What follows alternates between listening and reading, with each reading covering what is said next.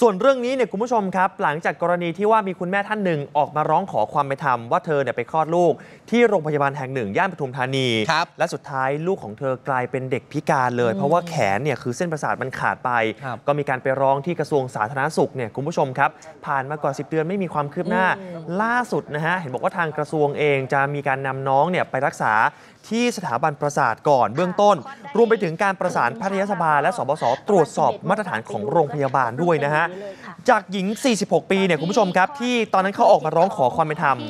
ว่าลูกของเธอวัย 10 เดือนนะฮะต้องกลายเป็นเด็กพิการหลังจากไปคลอดลูกที่โรงพยาบาลแห่งหนึ่งที่ปทุมธานี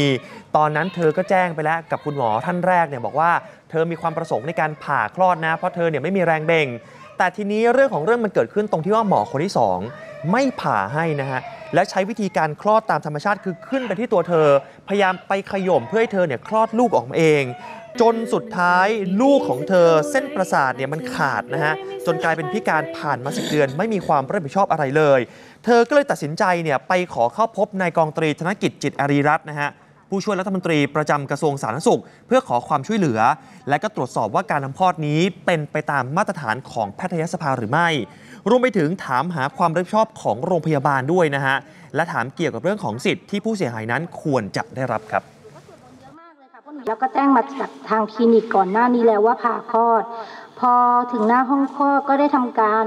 เซ็นทำหมันเซ็นผ่าคลอดเรียบร้อยแล้ว แต่พอเข้าไปในห้องคลอด ให้หมอประเมินก็ไม่ได้ผ่าคลอดค่ะ หมอให้คลอดเอง ก็เลยบอกว่าถ้าคุณจำคำพูดคุณไว้นะ คุณบอกว่าลูกดิฉันลื่นปืดลื่นปืดอะถ้าลูกดิฉันเป็นอะไรขึ้นมาน่ะ คุณต้องรับผิดชอบนะอยากให้เขาเยียวยาเราบ้าง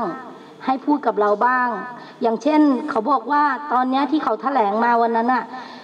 ดำเนินการคืนค่าคลอดให้เรานะ คือค่าคลอดเนี่ยทางหนูว่าขอคืนตั้งแต่ตอนที่หนูคลอดใหม่ๆแล้ว เพราะว่าทำลูกหนูพิการเขาก็บอกว่าไม่มีไม่มีนโยบายคืนค่าคลอด พอเกิดเรื่องที่หนูมาออกสื่อ เขาก็บอกคืนค่าคลอดให้ค่ะ จนวันนั้นจนถึงวันนี้หนูก็ยังไม่ได้ค่าคลอดค่ะ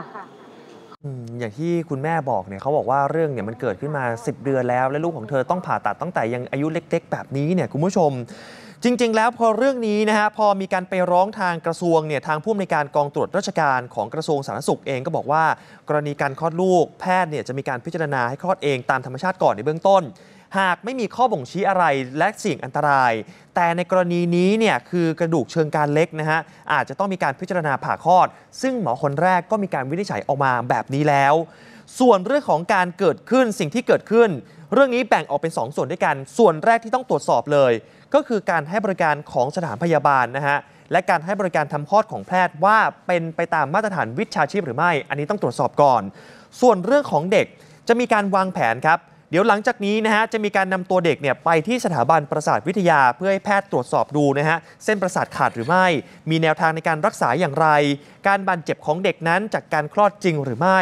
รวมไปถึงจะต้องดูเรื่องของการเยียวยาตามกฎหมายด้วยนะฮะว่ามีข้อกฎหมายไหนสามารถช่วยเหลือเด็กได้บ้าง ซึ่งเรื่องนี้ทางกระทรวงสาธารณสุขเองออกมายืนยันเลยว่า ไม่ต้องกังวลเรื่องของค่าใช้จ่าย เพราะว่าจะต้องมีการ support ในการดูแล รวมถึงหาทางเยียวยาครอบครัวของเด็กต่อไปด้วยนะครับ